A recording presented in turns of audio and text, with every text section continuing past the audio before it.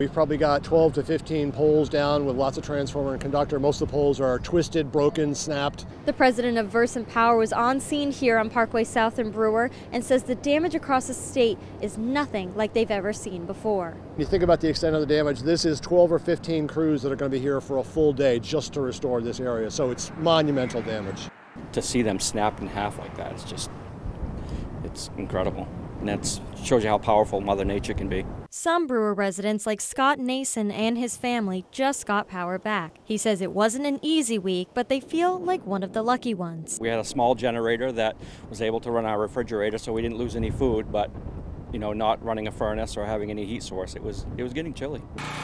Uh, it's been a mess, and I still have relatives that uh, don't have power yet. Resident Rhonda Choquette purchased a generator and a heat pump in the days following the storm. However, heating experts say not all generators will power your heat pump. Most people that have been calling, they don't have power and they have a generator, and I have to explain your heat pump probably won't run on it unless it's a pure sine wave generator or something like It is unclear how long it will take to get Parkway South up and running again. Officials are asking for patience and extra caution around crews as their restoration efforts continue. We'll get power back as quickly as we can and as safely as we can. In Brewer, Grace Blanchard for ABC 7 and Fox 22 News.